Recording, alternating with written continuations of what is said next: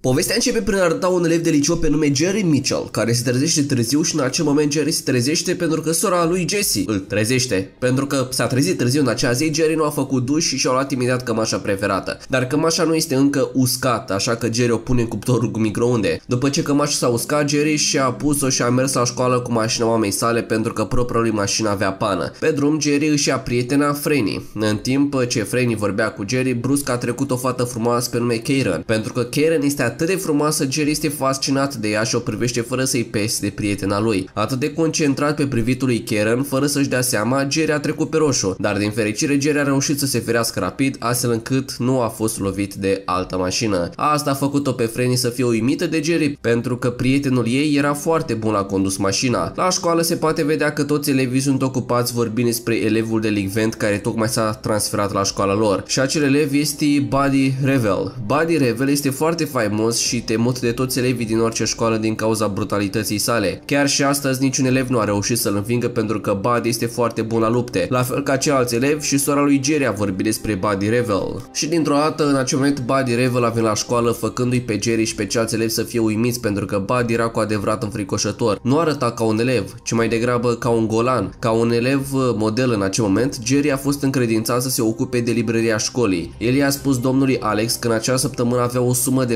470 de dolari. După ce domnul Alex a plecat, Kieran a venit să cumpere niște cărți și de asemenea niște stilouri. Pentru că lui Jerry îi place de Karen, el a întârziat-o intenționat oferind o altă carte astfel încât să poată avea o conversație mai lungă cu Karen. Dar din păcate când Jerry a vrut să ia restul, sertarul de bani era de fapt încuiat, așa că nu a putut fi deschis. Asta l-a făcut pe Jerry să se simtă jenat până când în cele în urmă Karen i-a dat restul lui Jerry. Când era pe cale să intre în clasă, Jerry și-a întâlnit cel mai bun prieten, Vincent. În acel moment, Vincent i-a spus lui Jerry să-l abordeze pe Buddy și să facă un articol despre povestea vieții lui ca material descris pentru a fi publicat în ziar. Motivul pentru care Vincent a făcut acest lucru a fost pentru că Buddy are un record perfect, unde de fiecare dată când se luptă nu pierde niciodată. Chiar a rupt gâturile câtorva elevi. În timp ce era în clasă, o profesoară pe nume Mary își informează elevii că ea și Vincent au decis să-l aleagă pe Jerry să cânte și să-l întâmpine pe Buddy. Auzind asta, Jerry a cerut imediat permisiunea să meargă la toaletă, pentru că nu voia să facă asta. În timp ce era la toaletă, Jerry l-a întâlnit din greșeală pe Buddy și prostește Jerry l-a salutat pe Buddy, care era o persoană tăcută. Jerry chiar a spus lui Buddy că vrea să-l intervieveze și să scrie povestea vieții lui. După ce a spus asta, Jer l-a bătut încrezător pe braț pe Buddy și l-a făcut pe Buddy să se enerveze pentru că nu voia ca cineva să-l atingă. Buddy l-a ridicat imediat și l-a pus la colț pe Jerry spunând că nu vrea să fie intervievat pentru că nu voia ca cineva să știe despre povestea vieții lui. Pentru că Jerry a îndrăzit să-l deranjeze pe Buddy, Buddy a cerut apoi lui Jerry să se dueleze la ora 15 în parcare și dacă Jerry îndrăznea să spună profesoare, atunci Buddy nu are insistat să agraveze această chestiune. Dacă Jerry fugea, atunci Buddy îl va urmări în continuare. Auzind cuvintele lui, Buddy, Jerry s-a speriat imediat atât de tare încât s-a udat în pantaloni. După aceea, Jerry a spus asta lui Vincent și Franny. Jerry le-a spus că, deși Buddy a cerut să lupte, Jerry nu va lupta cu el. Apoi, în acel moment, Jerry s-a apropiat de Buddy și a spus că nu vrea să lupte împotriva lui Buddy și Jerry a promis că nu va îndrăzni niciodată să scrie despre povestea vieții lui Buddy și nu va îndrăzni niciodată să-i atingă mâna din nou. Chiar uh, dacă Jerry spusese asta, Buddy tot îi cerea să lupte la ora 15 și se pare că vorbele lui Buddy au fost auzite de ceilalți elevi care erau acolo. Vincent nu voia ca cel mai bun prieten al său să fie bătut de Buddy, așa că apoi a pus un cuțit în dulapul lui Buddy pentru a-l face pe Buddy să fie exmatriculat din școală. Dar după ce cuțitul a fost pus în dulapul lui Buddy, Jerry a spus lui Vincent să ia cuțitul înapoi pentru că acțiunile lui Vincent ar putea să-l facă pe Buddy și mai supărat pe Jerry. Cu acestea, din păcate, când Vincent era pe care să ia cuțitul, clopoțelul de pauză a sunat brusc și asta l-a făcut pe Jerry foarte speriat încât a decis să fugă. Totuși, când Jerry a intrat în mașină, a fost șocat pentru că a găsit cuțitul pe care Vincent îl pusese în dulapul lui Buddy,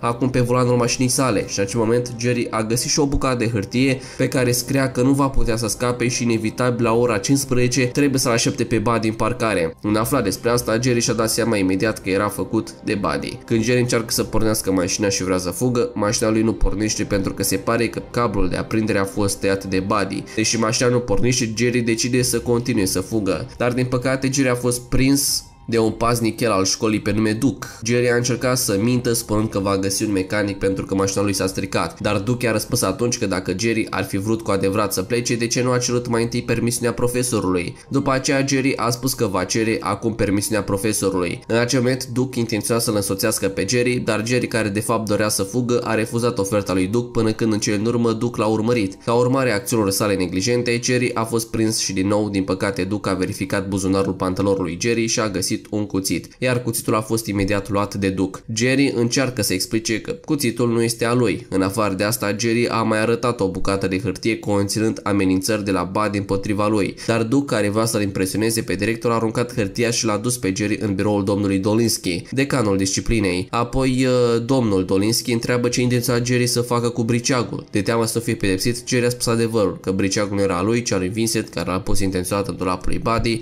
pentru ca Buddy să fie exmatriculat. Buddy a aflat de asta și a pus briceagul pe volanul lui Jerry împreună cu o bucată de hârtie conținând amenințări și invitații la luptă la ora 3 după amiaza în parcare. A auzit această poveste, domnul Dolinski nu l-a crezut pe Jerry. El chiar a bănuit că Jerry intenționa să omoare un student pe ascuns. Domnul Dolinski a rezoluit că de acum înainte îl va supraveghea pe Jerry pentru ca planurile lui să ieșueze. După ce a plecat din biroul domnului Dolinski, Jerry s-a întâlnit cu un student pe nume Jason. Aici Jason îi cer lui Jerry să fie puternic împotriva lui Buddy timp de 3 minute pentru că el a pariat cu prietenii săi. Auzind asta, Jerry s-a enervat și intenționa să lovească pe Jason, dar Vincent l-a oprit imediat. Apoi, în acel moment, Jerry a cerut lui Vincent să afle unde se afla cineva pe nume Craig. În plus, Jerry a mai cerut lui Vincent să sune un clopoțel fals pentru ca Jerry să se poată întâlni cu Craig. Când Jerry era deja în clasă, Vincent a sunat clopoțelul fals astfel încât Jerry și ceilalți elevi au părăsit clasa. După ce a căutat peste tot, Jerry a aflat în sfârșit unde era Craig. Jerry s-a apropiat imediat de el. Jerry a spus că era mare nevoie de ajutorul lui Craig pentru ca Buddy Revel să nu mai vrea să se lupte cu el. Craig a răspuns apoi că era dispus să-l ajute pe Jerry pentru o sumă de 450 de dolari. Auzind asta, Jerry a fost de acord imediat pentru că nu vrea să fie bătut și învinețit de Buddy. Și pentru că Jerry nu avea suficienți bani, a fost disperat să intre în librărie și a intenționat să fure banii. Cu toate acestea, deoarece sertarul de bani era încuiat, Jerry a găsit dificil să-l deschidă, așa că a încercat mai multe moduri de a-l deschide. După multe eforturi și după ce a făcut dezordine în locație, Jerry a reușit în cele în urmă să deschidă încuietoarea. Deoarece mintea era învăluită de confuzie, Jerry nu s-a gândit și a luat imediat banii și a plecat. În același timp, domnul Dolinski a anunțat că toți elevii trebuie să se întoarcă în clasă, deoarece clopoțelul de mai devreme era fals. Dar înainte de a intra în clasă, Jerry a dat mai întâi bani lui Craig drept plată pentru bătaia lui Buddy. În timp ce era în clasă, domnul Alex l-a chemat pe Jerry și l-a dus la librărie. Domnul Alex a spus că locul era dezordonat și cineva a furat banii. La acel moment, domnul Alex era furios și a spus că oricine ar fi avut curajul să facă asta nu a rezistat să le expulzeze pe elevul respectiv din școală. Auzind asta cu frică, Jerry a fost de acord. Domnul Alex nu știe că de fapt elevul care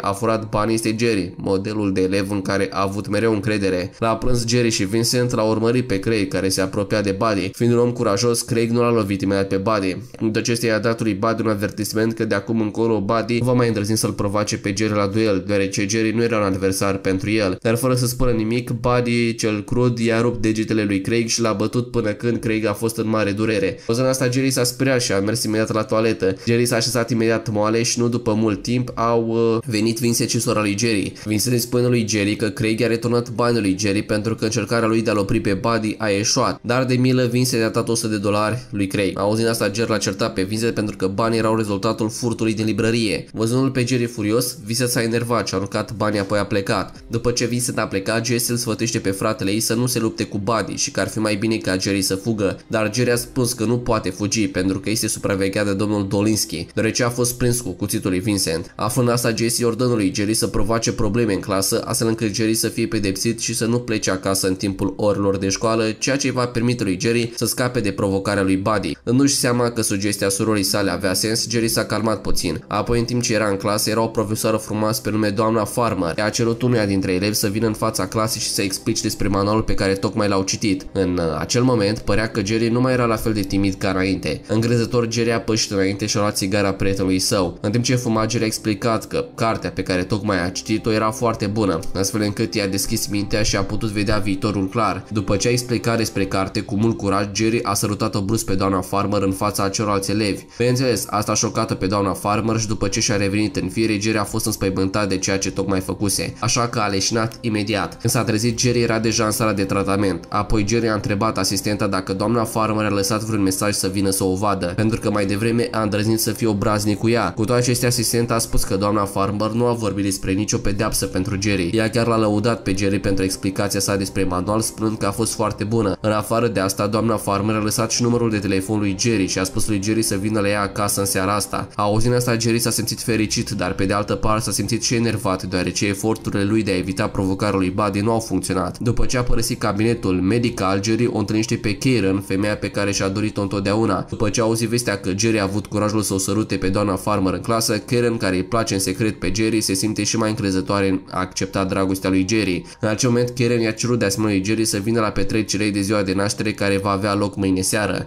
Desigur, acest lucru a făcut pe Jerry să se simtă foarte fericit și a acceptat imediat. Între timp, Franny, iubita lui Jerry, aude că Jerry a sărutat-o pe doamna Farmer în clasă. Franny îl invită pe Jerry să se întâlnească la librărie și cere să o sărute, astfel încât Jerry să nu se îndrepte spre alte femei, însă Jerry refuză și o face pe Franny să se supere. Aici se dezvăluie că aparent până acum Jerry nu a iubit cu adevărat pe Franny, ci doar a folosit atunci când se simțea singur. După ce Franny a plecat, domnul Alex a venit la locul respectiv aducând un ofițer de poliție numit Stallone pentru a investiga cazul banilor dispăruți de la librărie. În acel moment Stallone a spus lui Jerry că suspectează deja că vinovatul nu este alt elev, ci elevul căruia s-a credințat gestionarea librăriei. Realizând că Stallone știa deja ce făcea Jerry, s-a simțit foarte speriat și a cerut imediat permisiunea de a pleca. În timpul unui test de matematică, Buddy l-a rugat pe Jerry să-i dea un bilețel cu răspunsuri. Deoarece Jerry era speriat, a forțat să-i spună răspunsurile. Dar din păcate în acel moment acțiunile lor au fost descoperite de profesorul lor, domnul Bobby. Apoi domnul Bobby le-a ordonat amândurora să se prezinte în fața domnului Marcus. Pentru că Jerry se temea de Buddy, în cele din urmă Jerry a fost forțat să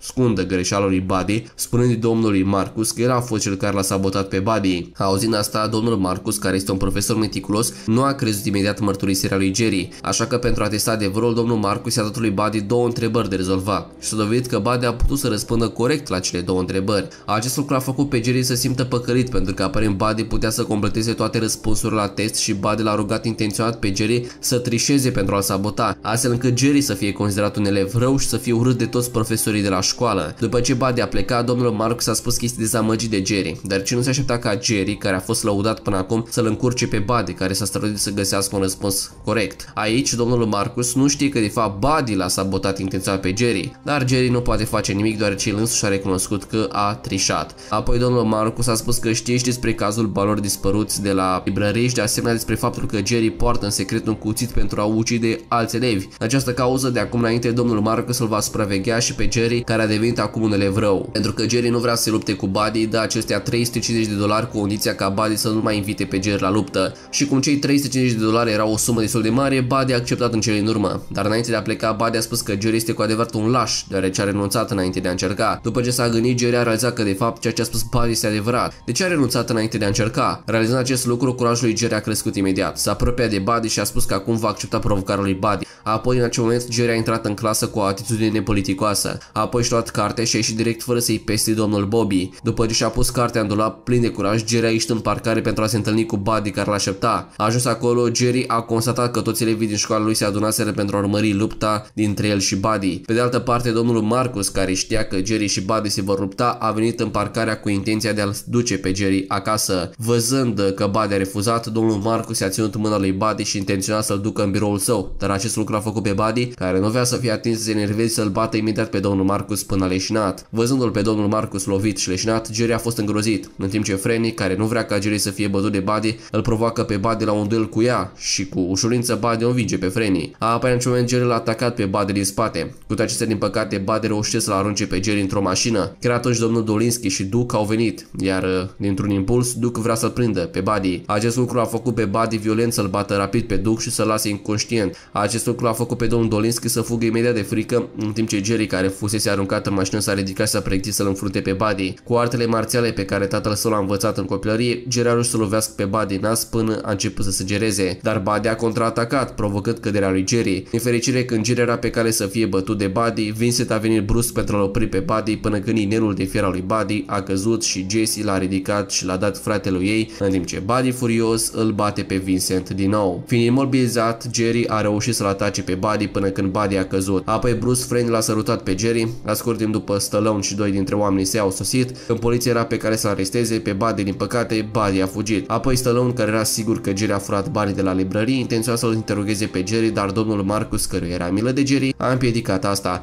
Potrivit lui astăzi, Jerry are multe probleme probleme. A doua zi mulți elevi s-au apropiat de Jerry pentru că erau uimiți de curajul lui Jerry împotriva lui Buddy. Atunci elevii, inclusiv Jason, i-au dat bani lui Jerry pentru a ajuta să recupereze banii de la librărie pe care i-a furat. În timp ce erau ocupați să-i da bani lui Jerry, deodată Buddy a apărut. Asta i-a redus imediat la tăcere. Văzându-l pe Buddy apropiindu-se de el, Jerry tremura de frică pentru că era câștigat lupta datorită ajutorului Vincent și al surorii lui mai mici. Dar din fericire Buddy nu l-a bătut pe Jerry aici. De fapt, Buddy i-a înapoiat banii pe care Jerry i-a dat ieri. Bineînțeles, asta l-a făcut pe Jerry să simtă ușurat, mai ales când a văzut pe Buddy zâmbindu-i. La scurt timp după aceea, Karen a sosit și a amintit lui Jerry să vină la petrecerea ei de aniversare mai târziu în acea noapte. Pentru că de ziua ei Karen va primi dragostea lui Jerry, auzind asta Jerry s-a simțit uh, foarte fericit, indiferent de sentimentele lui Frenny. Atunci doamna Farmer, care a început să-l placă pe Jerry, a venit și l-a salutat pe Jerry în fața celor studenți, făcându-i pe predele lui Jerry care au văzut asta să nu le vină să creadă. Deși doamna Farmer îl place, Jerry o prefera pe Karen, pentru că Karen are aceeași vârstă cu el, în timp ce Frenny în cel în urmă l-a lăsat pe Jerry să se întâlnească cu Karen.